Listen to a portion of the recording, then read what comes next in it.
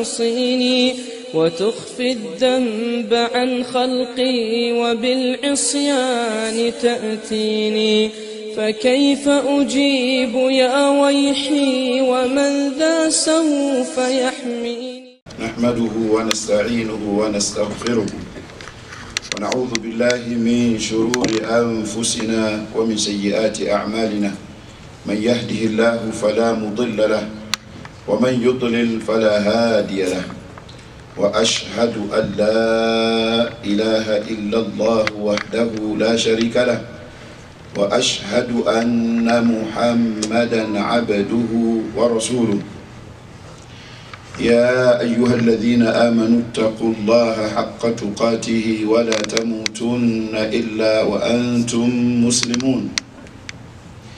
يا أيها الناس اتقوا ربكم الذي خلقكم من نفس واحدة وخلق منها زوجها وبث منهما رجالا كثيرا ونساء. واتقوا الله الذي تساءلون به والأرحام. إن الله كان عليكم رقيبا. يا أيها الذين آمنوا اتقوا الله وقولوا قولا سديدا. يصلح لكم أعمالكم ويغفر لكم ذنوبكم. ومن يطع الله ورسوله فقد فاز فوزا عظيما.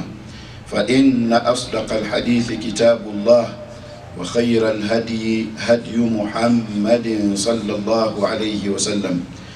وشر الأمور محدثاتها وكل محدثة بدعة وكل بدعة ضلالة وكل ضلالة في النار فيا عباد الله أوصيكم وأوصي نفسي بتقوى الله Respected brothers in Iman أحباب رسول الله Having praised Allah and having sent salutation of mercy exaltation and peace of Allah to descend upon khayri khalqi, the best of his creation, Muhammad ibn Abdullah.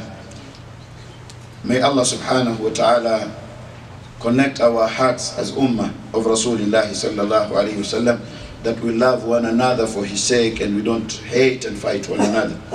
May Allah subhanahu wa ta'ala guide all of us to Siratul Mustaqim and may Allah subhanahu wa ta'ala make us to live as Muslims, die as Muslims, and be resurrected as Muslims in the company, in the best company of Rasulullah sallallahu alayhi wasallam fi Jannatil Firdaus al-A'la.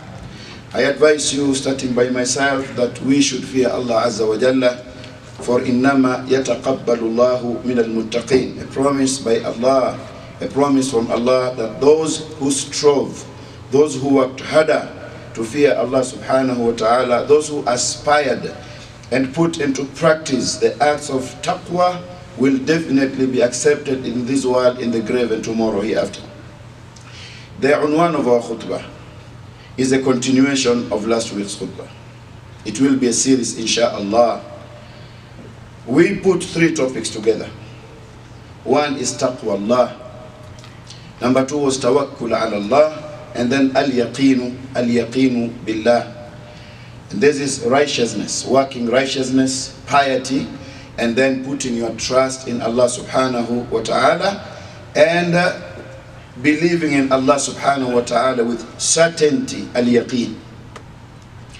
We highlighted some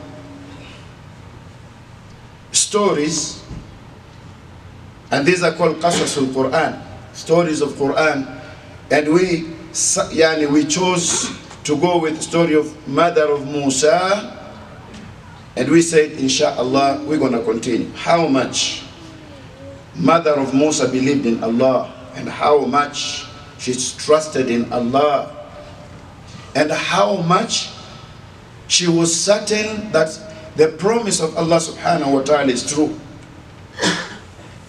We want to continue. The incident of Musa alayhi salam trying to bring justice between the oppressor and the oppressed led to the death of the oppressor. He hit this person. Musa alayhi salam never intended to kill him. He hit him. And then it happened that he died. So the news is going around and the news has reached the chiefs, the ruling, the leadership, the government of that time.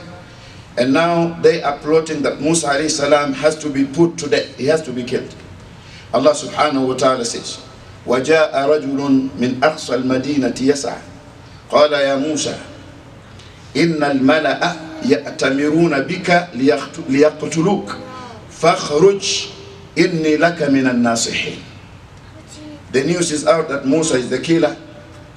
Remember when this incident happened, Musa alayhi salam asked Allah subhanahu wa ta'ala, قال رب إني ظلمت نفسي فاغفر لي فغفر له. So he asked Allah for forgiveness. He said, Oh Allah, I have wronged myself by hitting this person that led to his death. So forgive me, oh Allah, for that wrongdoing. So Allah subhanahu wa ta'ala forgave him. So the news is coming that the chiefs and leadership and the ruling class are plotting and conspiring to kill Musa. So this person is coming from the farthest part of the city. He told him, Fakhruj, I'm advising you to leave Egypt. Inni laka minan nasihin. I am but a, an advisor to you. I'm giving you a sincere advice. If these people find you in Egypt, they يعني لقد اتخذت القرار لقد قضي الأمر the, the, your, your case has been decided, leave. So Musa alayhi salam is leaving Egypt. Allah subhanahu wa ta'ala say, فَخَرَجَ مِنْهَا خَائِفًا يَتَرَقَّبُ Musa alayhi salam left Egypt, but in what state? خَائِفًا In fear, because they are looking for him. But also يَتَرَقَّبُ But he in caution. He left in fear. So before we continue, if علم التوحيد والعقيدة, there is what is called الاتخاذ اتخاذ بالأسباب الأخذ بالأسباب A Muslim does not say that, you know, I'm a Muslim and Allah subhanahu wa ta'ala is al-razaq and so I don't need to work. Allah is going to provide me. No, you have to work. Ah, Allah is al-razaq and He tells you to work. Allah subhanahu wa ta'ala never told you that, yes, I'm al-razaq, sit down. Allah is يعني فعال لما يريد Allah is على كل شيء قدير Lakin the lazy Muslims who don't want to work, you have to work. Laziness, al-kasal, Rasul sallallahu alayhi wa ask Allah to protect him from what? Allahumma inni a'udhu bika, part of the dua you say, min al-kasal. Laziness that you just sit and you have to be fed and you have to be given and you beg around. No, there is no begging in Islam. There is asking. You have to work. And Ambiya and Rusul are the good example. Every Nabi and every Rasul had a mihna. They had a profession. That they, were, that they had something that they were doing. So Musa alayhi salam is living, he's very yani, conscious. But at the same time, he's afraid. But as he's living, he never said, okay, I'm too smart. I know my way like some of us do. He said, قال ربي نجني من القوم الظالمين with all effort that he's making which route route am i going to take he's still raising his hands and making dua saying oh allah oh my lord save me from the, this wrongdoing yani these wrongdoers save me from these oppressors oh allah أنبياء اهتموا بالدعاء أنبياء الله كانوا يهتمون بالدعاء they were giving importance to dua لأنهم آمنوا بالله وتوكلوا على الله وكذلك كان عندهم اليقين تيقنوا أن وعد الله حق والله أنبياء believed in Allah and Anbiya relied upon Allah subhanahu wa ta'ala. They never argued with Allah in their hearts like we are arguing. They never doubted Allah. We make dua, but in your heart, is it going to happen or not? you want to make plan ahead of Allah. What about if it doesn't happen? What am I going to do? Sometimes we do not have yaqeen. Sometimes we do not even believe in that dua. You say, let me make, make dua and see. Those who are not Anbiya and Rusul, and these are the reasons why our dua are delayed. Because how much do we trust in Allah and how much do we believe with certainty that the promise of Allah subhanahu wa ta'ala of ud'uni astajib lakum ask me and I will give you I will respond to you I will give you what you ask for and even better Musa alayhi salam is asking Allah save me min al-qawm al from the people, from this community, from this oppressing, oppressing nation. Save me from them, O Allah. So Allah subhanahu wa ta'ala tells us, وَلَمَّا تَوَجَّهَ تِلْقَاءَ مَدْيَنَ When Musa alayhi salam had left Egypt, and he took the route of Midian, Midian. Musa alayhi salam never set out and say, I'm gonna make it. I have my ticket. I'm gonna travel with American airline. No? I know I'm gonna reach my destination. How do you know? It is even sunnah it, according to Sharia of Muhammadiyya, Sharia which Allah subhanahu wa ta'ala gave Muhammad that you make dua.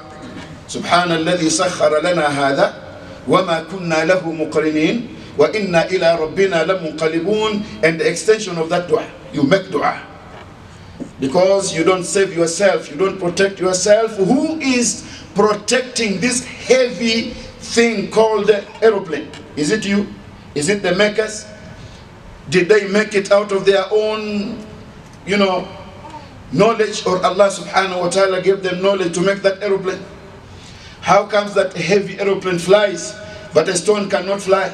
You throw it, it has to come down. And stone is lighter than what? An aeroplane. And when once you fly, who is holding you and protecting you up there? How comes that other aeroplanes crashes? How comes? And how comes that modern 21st century submarine goes deep, deeper to the ocean and they do not return and bodies and submarine cannot be discovered. Allah subhanahu wa ta'ala says, why can't you see the birds?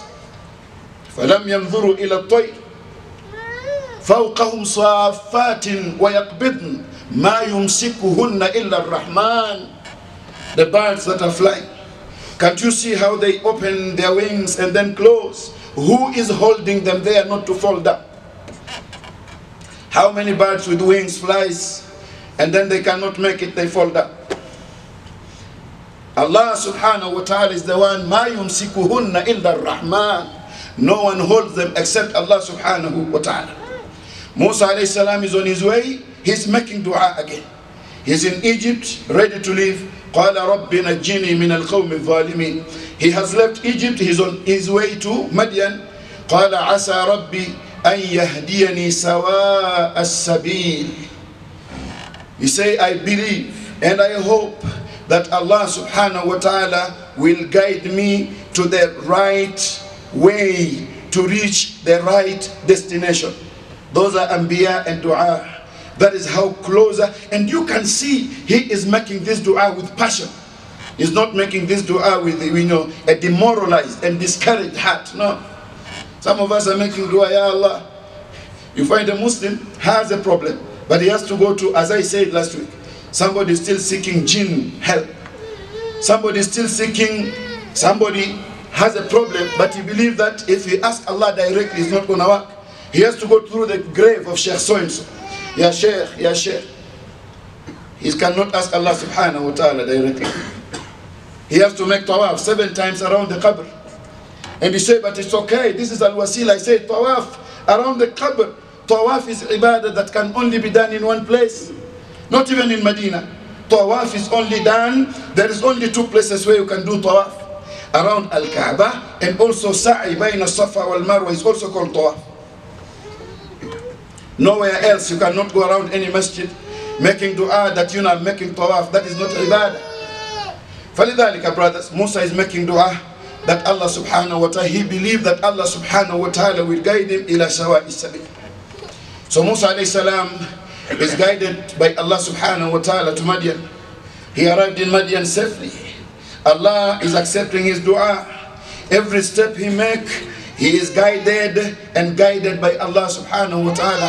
Allah subhanahu wa ta'ala says, وَلَمَّا وَرَدَ مَاءَ مَدْيَنَ وَجَدَ عَلَيْهِ أُمَّةً مِنَ النَّاسِ يَسْقُونَ وَوَجَدَ مِن دُونِهِمْ رَأَتَيْنِ تَذُودَانِ When Musa alayhi salam arrived in Madian, he arrived at a place where they were drawing water.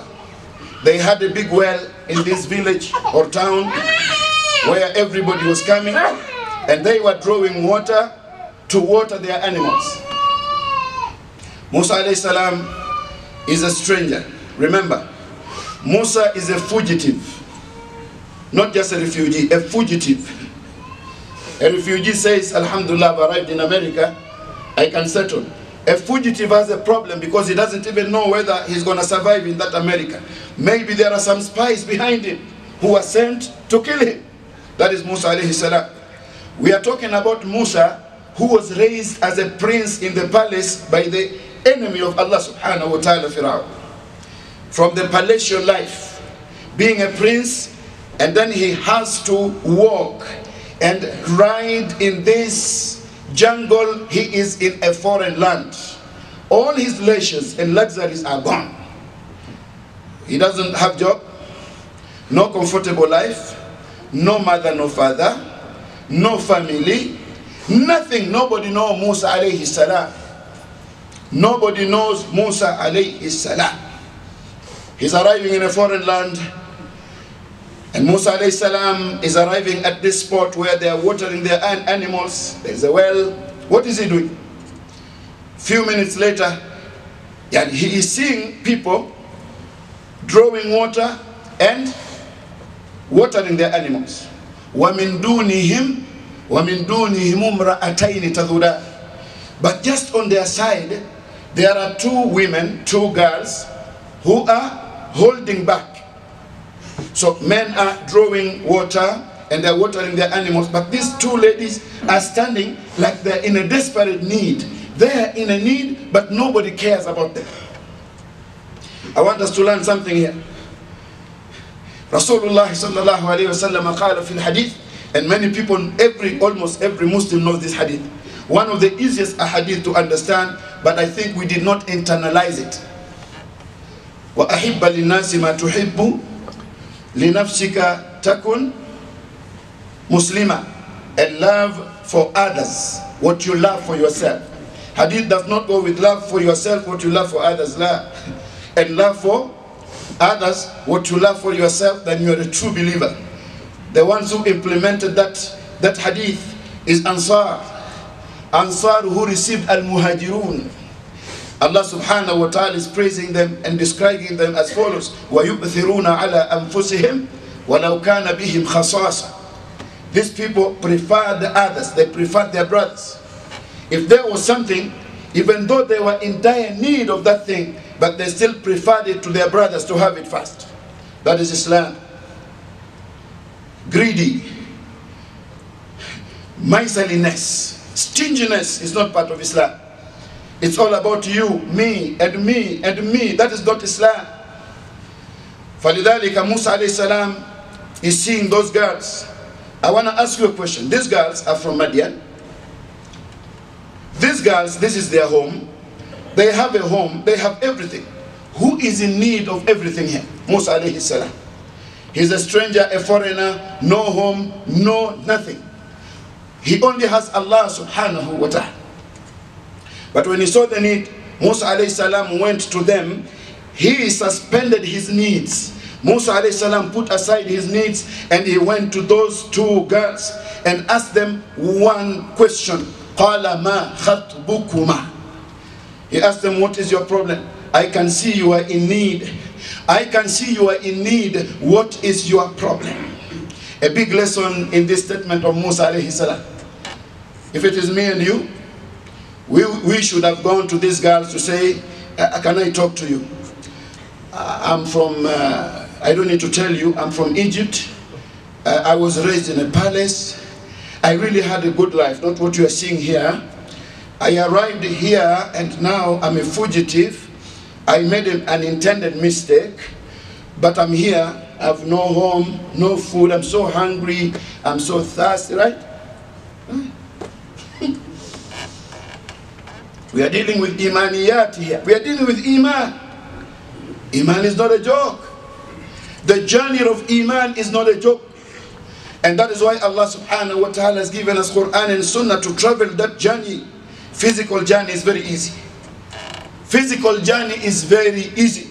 But without iman, that physical part of you is gone. Do whatever you want to do on earth physically. Your life is only going to end in this world. You will have no share in the grave and you will have no share on the day of Qiyamah. Musa salam did not ask those questions. He suspended his need and then he asked them, What is your problem? yani ihtamma bimada he gave importance to their problem. Qala ma khatbukuma? What is your problem? Qalata they said la nasqi hatta yusdir ar-ri'ah. La nusqi hatta yusdir yusdir ar-ri'ah wa abuna shaykhun kabir we are not able we are not in a position of watering our animals until when men these men you see here have already watered their animals. وأبونا شيخ كبير Besides, our father is an old man. Our father is an old man.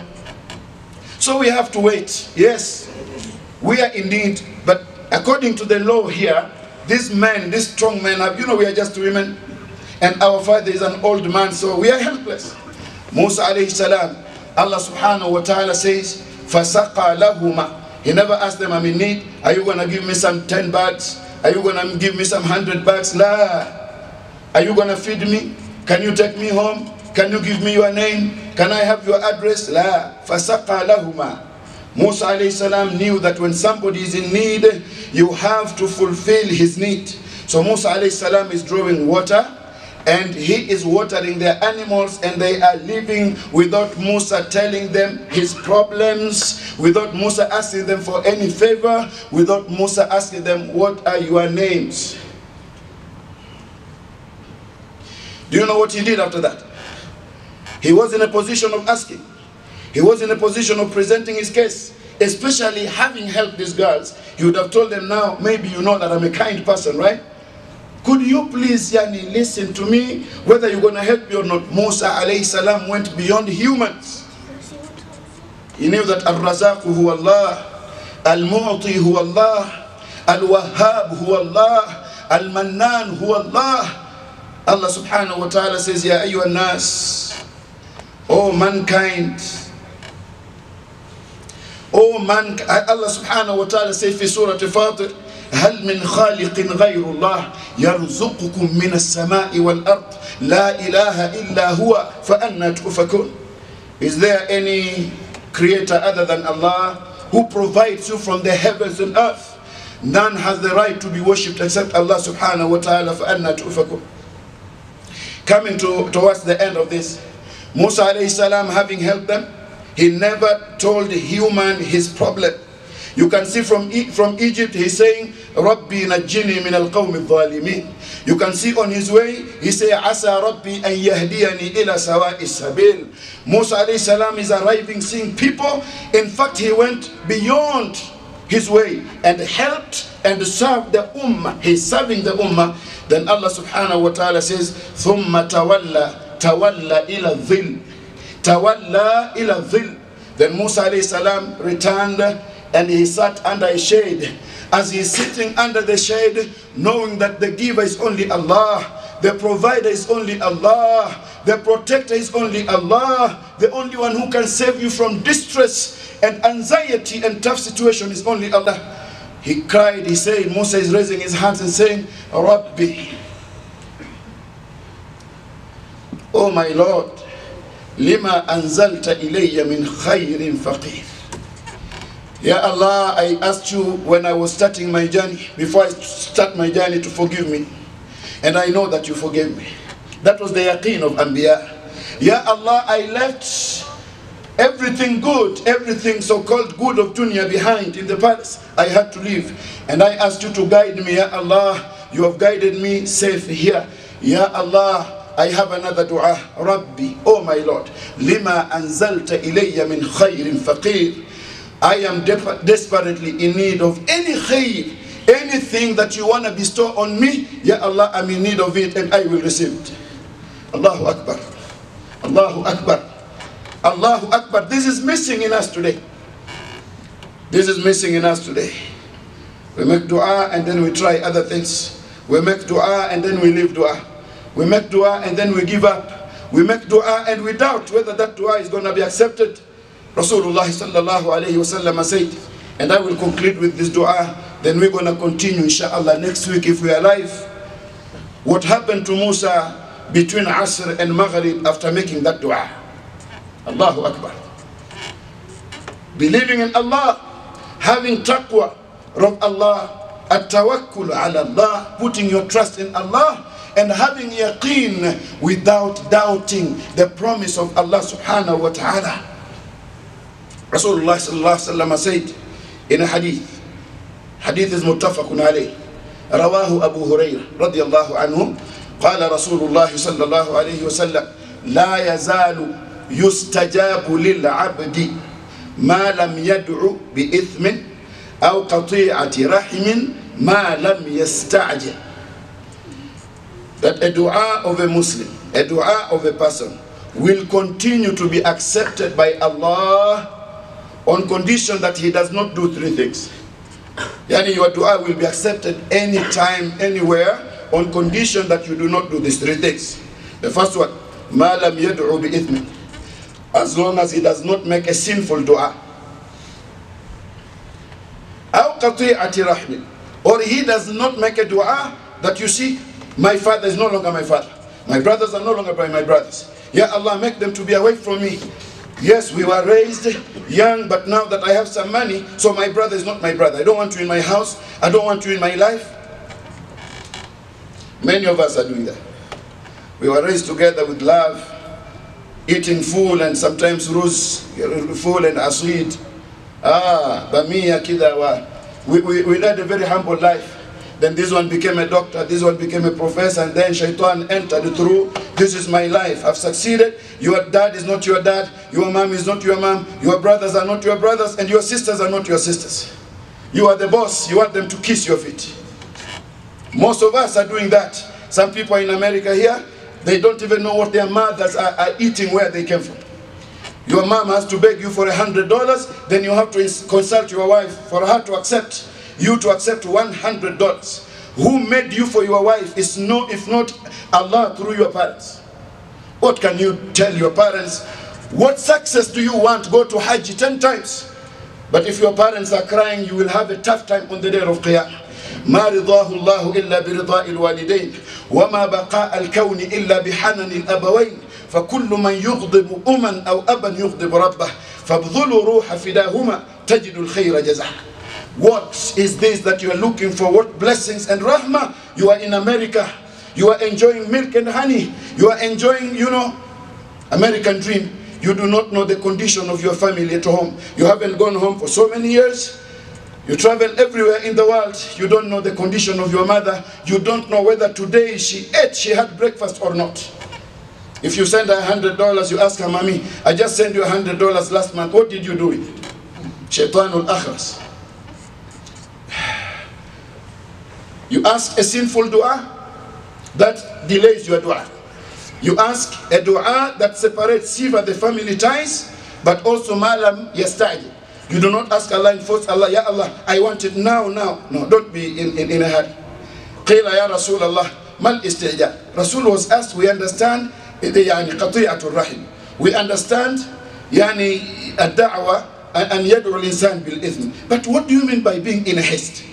Qala, يقول قد دعوت وقد دعوت فلم أرى يستجيب لي فيستحسر عند ذلك فيدع الدعاء This is a person who say, I've been making dua, making dua, but I don't see Allah responding to me. Yani you don't see Allah responding according to you, right? Then he gives up. Then he say, I'm not going to make dua again. You do not do those three things for your dua to be accepted. May Allah subhanahu wa ta'ala help us to be min al-muttaqin wa min al-mutawakkilin. But also may Allah subhanahu wa ta'ala help us to be among those who have yaqeen with the promise of Allah subhanahu wa ta'ala. Astaghfirullah.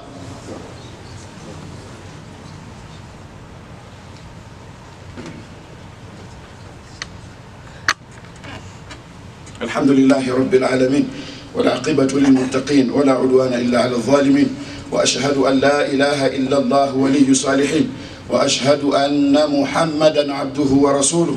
بلغ الرسالة أدى الأمانة نصح الأمة جاهد في الله حق جهاده حتى أتاه اليقين. اللهم صل وسلم على محمد في الأولين صل وسلم على محمد في الآخرين صل وسلم على محمد في كل وقت وحين. أعوذ بالله من الشيطان الرجيم. بسم الله الرحمن الرحيم. إن الله وملائكته يصلون على النبي. يا أيها الذين آمنوا صلوا عليه وسلموا تسليما. اللهم صل على محمد وعلى آل محمد كما صليت على إبراهيم وعلى آل إبراهيم. وبارك على محمد وعلى آل محمد كما باركت على إبراهيم وعلى آل إبراهيم إنك حميد مجيد. اللهم ارض عن جميع صحابة رسول الله. ربنا آتنا في الدنيا حسنة وفي الآخرة حسنة وقنا عذاب النار. رب ربنا اغفر لنا ولوالدينا وارحمهما كما ربيانا صغارا. اللهم ألف بين قلوب المسلمين اللهم ألف بين قلوبنا اللهم أحقن دماء المسلمين في كل مكان. اللهم اهدنا سبل السلام نجنا من الظلمات إلى النور. اللهم ارحم موتى المسلمين اللهم اشف مرضى المسلمين اللهم اهد شباب المسلمين. ربنا هب لنا من أزواجنا وذرياتنا قرة أعين واجعلنا للمتقين إماما. والحمد لله رب العالمين. We have a a, a young sheikh, for those who have time, we have to do this as much as we can. He want to talk to you about Salah, because there are some people who are neglecting their Salah. We have a young man want to present something very beautiful about Salah. If you are not in a hurry, stay for some 8 to 10 minutes. If you are in a hurry, you can leave. إن الله يأمر بالعدل والإحسان وإيتاء ذي القربى وينهى عن الفحشاء والمنكر والبغي يعظكم لعلكم تذكرون فاذكروا الله يذكركم ودعوه يستجب لكم ولذكر الله تعالى أكبر والله يعلم ما تصنعون وأقم الصلاة.